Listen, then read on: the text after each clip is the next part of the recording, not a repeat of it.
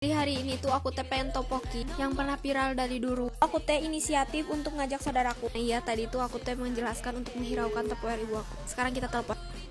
Halo, Halo, di mana kon? Kurang itu yuk, kurang beli topoki anu pernah viral teh ayo. Ayo, kiraha. Ini we, ke BM yuk. Ayo, udah tonton aja tuh. Nah, namanya.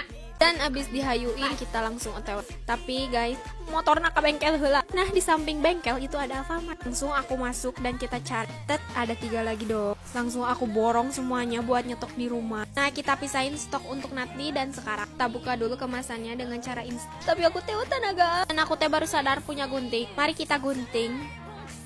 Isinya itu ada bumbu topokinya sama topokinya dong.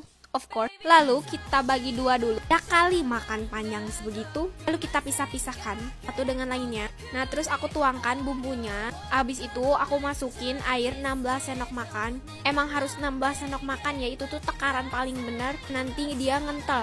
Ya tambah enak aku masukin telur, masukin bawang daun.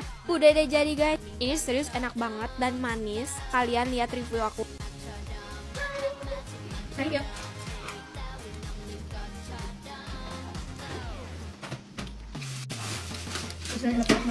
Ini asli emang seenak itu. Aku kira pedas dan ternyata enggak sama sekali. Kesel banget aku nggak nyobain dari dulu, sumpah.